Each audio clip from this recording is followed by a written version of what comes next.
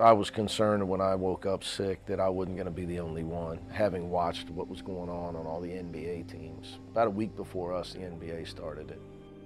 We were in the locker room getting ready to play Alabama State. Coaches came in, told us the game was canceled. It's been probably like almost a month since we played, so kind of a roller coaster.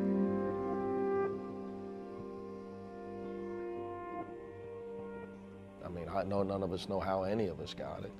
It was just, uh, you know, trying to tell the guys to make sure they're careful and they, they follow the rules of quarantine. Uh, and it just is what it is. So we were down to a few guys that haven't had it, and so with, that's my biggest concern is bubble wrapping those guys for the rest of the year. I never got it, um, so I was just able to train and tighten up. So I personally might feel even more prepared. So we lost four. You know, hopefully we don't have to do too much more of it. We get that from the Pac-12. You know, it, playing on the fly. My, my thing is, look, health and safety of our team is most important. Most of the guys had it, so they were kind of just resting and making sure that they felt better. Um, but for the rest of us, Nate, our strength coach, he gave us some routines to work on.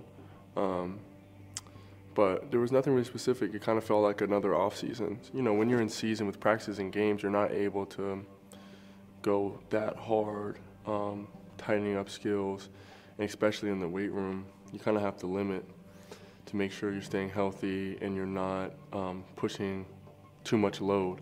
So having a stretch without a game, you never find that in a season. I mean, 12 days or 13 days, you'll never get that.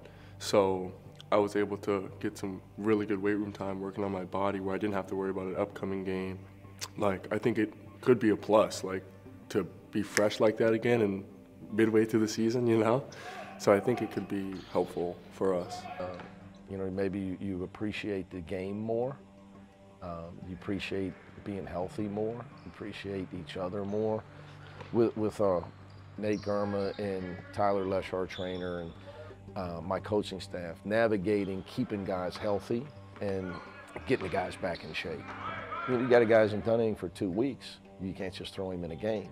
You know, that's how he's going to get hurt. And I wouldn't let that happen. So uh, I treat these guys, I'm tough on them and I'm demanding if people see that on the sideline. But when it comes to their health and well being as people, I'm overprotective like they're my children. We're going to start stretching at around 45. Sit back, reach. Make sure you hit those hamstrings hard. Tyger, hips, inside. Good warm up, good lift, good practice. Who do you think we can get on such short notice? What team do you think we'll play? Cal Poly. Cal Poly? USC? Working to that ankle. You're gonna have to crease the Jordans for this one. Reach, reach, reach, reach, reach, reach. Look at Dave, looking like a stomp the yard extra. yeah. All right, let's get upstairs. All right, Kenny, stop shaking get upstairs. right, right, quick lift, be strong, be fast. Let's get it. Hey, PY, disperse and get stronger. Yep, pulling with that left hand. You're gonna reach. So you gotta sink into that right hip, like a lateral, lateral lunge. Drop your hips more than your upper body. Instead of being here, so you squat down there. There you go. Lunge and push out. Yeah, Cody, feeling good today. I say you feeling good today, I see it. Good range though. Yeah, it means you're getting good range of motion. Yeah. Appreciate it, Big Nate. All right, let's have good practice. You got it.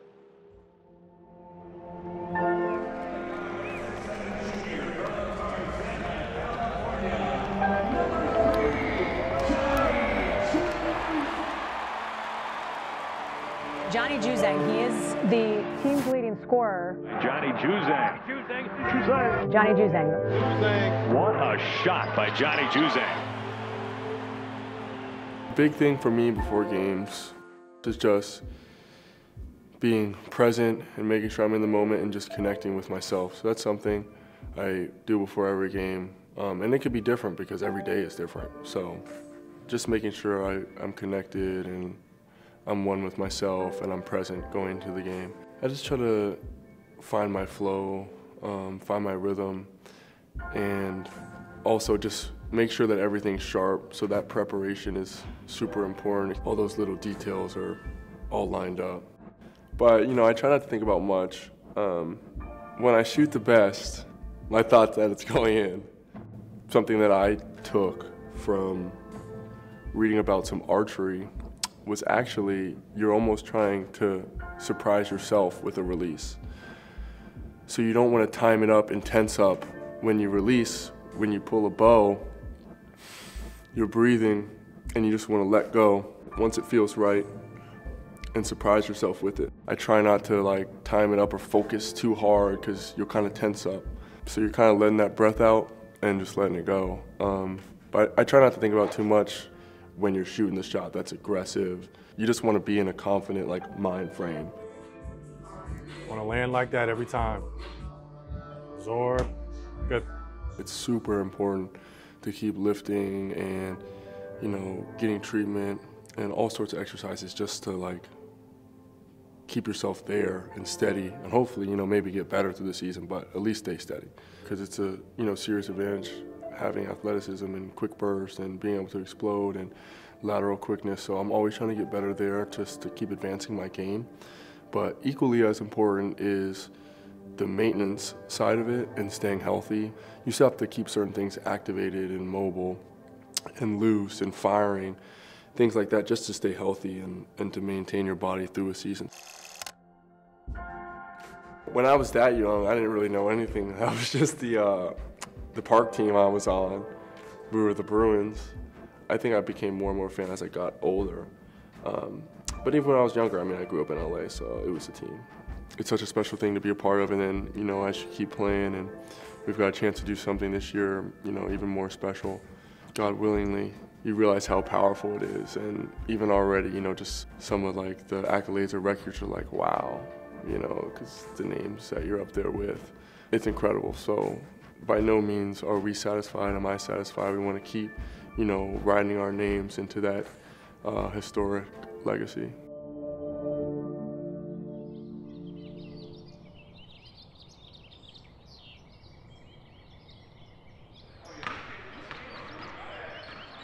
I think that little time off brings a whole new energy. You know, the stretch of a season can get long. So uh, coming back into practice, it's super competitive. Everyone's super focused, and everybody's just excited to get to that next game. So, so hopefully with Cody back, that's the thing I'm most excited for Cody. You know, and then secondly for our team to be able to be whole, uh, but mostly for him. You know, it's a senior year. I'm less concerned, I should say, with our opponent than I am with trying to find a rhythm with our team again. Me as their coach substitution patterns, uh, our offensive flow, and getting us, you know, into where we're, we're playing with one heartbeat and, and, a rhythm. But it could take us a little time. We'll see. But we're just going to have to keep plugging and fight through it. get it. Feeling great. First day out. I've been eating a lot of fat tigers, uh, smash bros, and make Cronas in the early morning. Hopefully, get me right.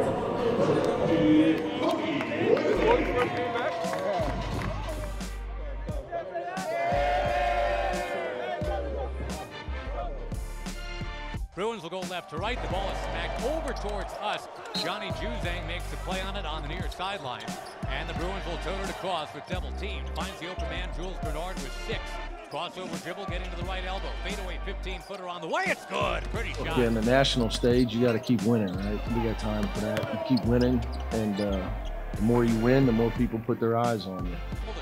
Clark at the top of the key, right back to Campbell. NBA range three, he rattles it in. And uh, it was great to see that, you know, he's feeling comfortable. Bernard between the circles, lobs to Juzang, a right wing three is good with a switch. Oh, yeah, no, Jules is so talented, man. Um, really talented, versatile scorer. So it's good that we have options with, you know, different guys, different nights, or, or you know, can produce.